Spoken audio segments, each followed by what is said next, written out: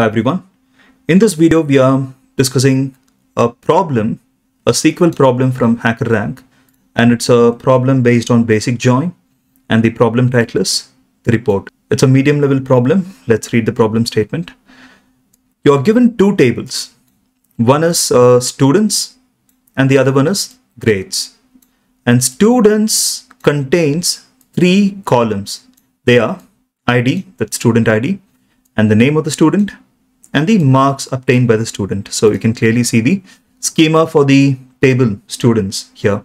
Okay, so ID is given, that is an integer, and name is a string, and marks is another integer.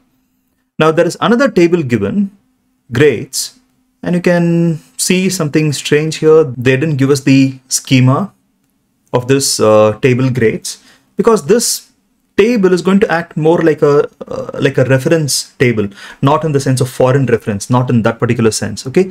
So this table is just for our reference. It's not like we are going to join this table with the the students table. Even if we want to join like how exactly are we going to join? Like on what column we're going to join? We don't have a common column. Here we have id name and marks. Here we have min mark max mark and grade. That min mark max mark is the range that they have given for each and every grade. If a student's uh, mark is ranging from 0 to 9, inclusive of both 0 and 9, then we'll give a grade of 1.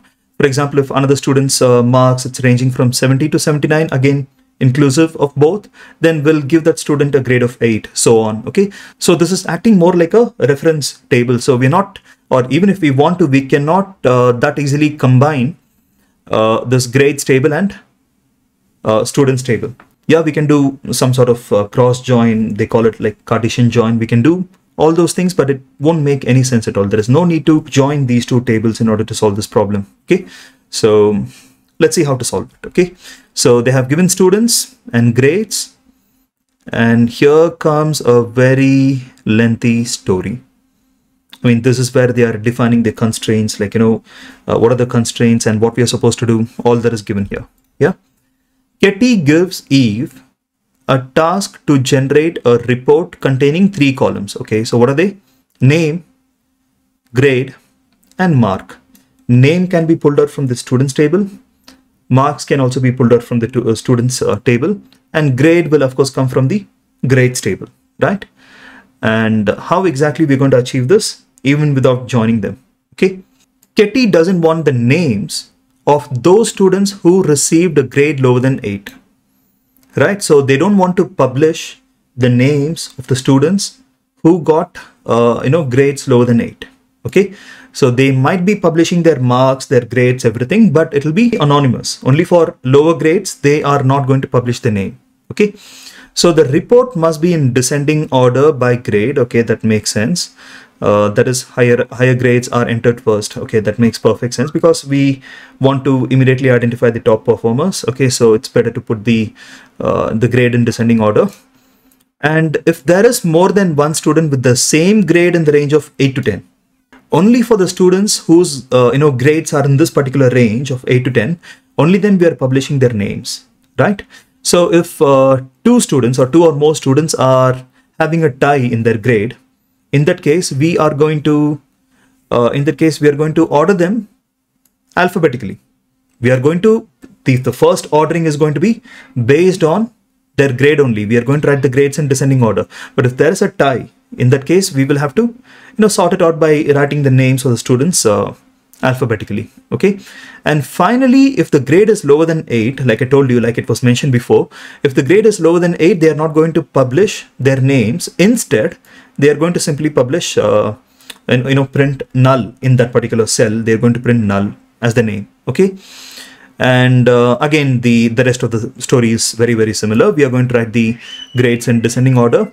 Now here what are we supposed to do if there is a tie between grades of two students?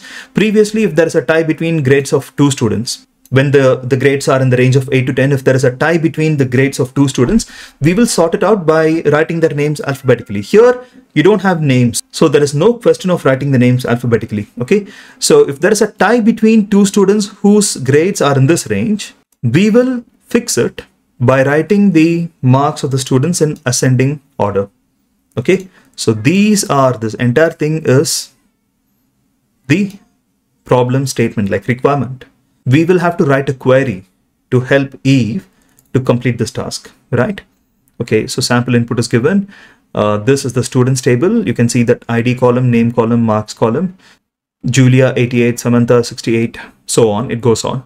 Okay, and the sample output is like this.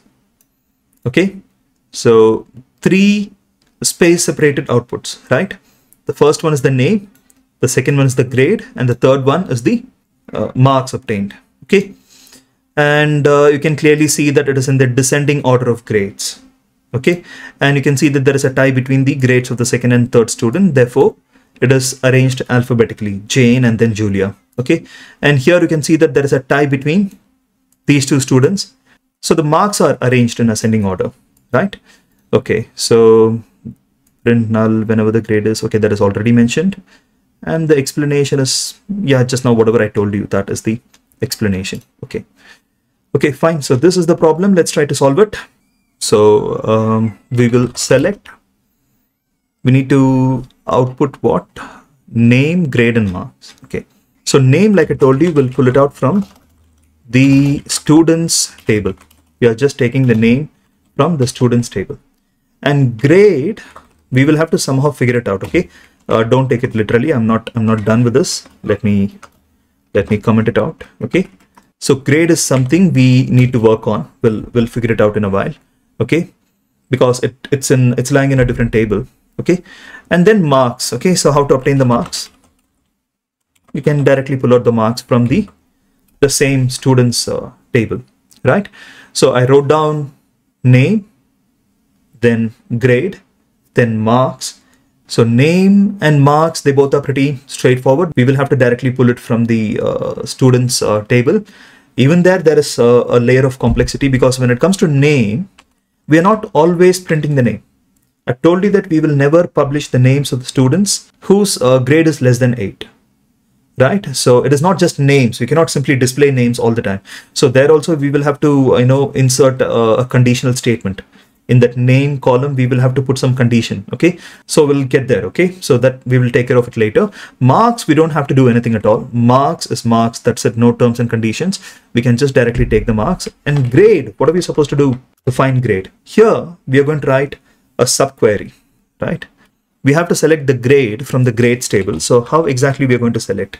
You see uh, we could have done something like uh, we, we don't even have to actually speaking. We don't even have to make use of the grades table right? We can completely do away with the grades table. We can just look at it for reference, but otherwise without calling that grades table, we can simply solve the problem by using uh, a case statement. The only headache is you will have to write multiple when then conditions. Multiple like you know 10 when then conditions you will have to write. And that is going to get a bit cumbersome. So let's let's not do it okay? So you will have to write 10 statements. Let's not do it. So that is why i prefer doing this subquery right? So we are going to select grade from grades table we, we will have to select grades from grades table. Uh, what is the condition? We will of course have to do some kind of filtering right? Where the condition is what's the condition? If the students mark is belonging to the range of 0 to 9 it is 1 if it is belonging to the range of 10 to 19 it is 2 20 to 29 it is 3 so on. So how to uh, express it mathematically right? You can write it like this. Min mark less than or equal to marks obtained by that particular student. And the mark obtained by that particular student is in turn less than or equal to max mark. Okay? So whenever this condition is satisfied we are going to select the grade from that particular row. Whenever this condition is satisfied which condition? The student's marks uh, being less than or equal to the maximum mark and greater than or equal to minimum mark. Okay, these two inequalities put together, this compound inequality tells us uh, it belongs to which interval? 0 to 9 or 10 to 19 20 to 29 so on. It will tell us uh, the student's marks is belonging to which interval. So once you lock that particular interval we are going to select only the grade from that particular row right? So we are selecting only grade. So that is the required grade okay? So now we have what? The name of the student taken from the students table and here we are doing another query in order to get the appropriate grade by using this compound inequality. And then marks, like I told you, it's a very straightforward thing. Okay. So yeah, there is some progress. Yeah. Now, like I told you, we don't want to simply write the name, print the name all the time. Okay, we don't want to print the name all the time. So here we are going to, uh, you know, put some if condition, right? If a certain condition is true, only then we will print the name of the student. Otherwise, we'll print null, right? Okay. So what is the condition? The condition is the grades must be greater than or equal to 8 in the second uh, row, we had that query to get the grades, right? The grades must be greater than or equal to 8. Under that condition only, we are going to print out the name of the student. Whenever that condition is not met, we are going to print null. Did you get this? Okay. So now, where are we pulling all these uh, data from, the information from? From students table, like I told you. Okay. And that is not all. What else we are going to do here? We are pulling all these data from the students table and we will have to do some sort of ordering, right? Uh, it's given over here.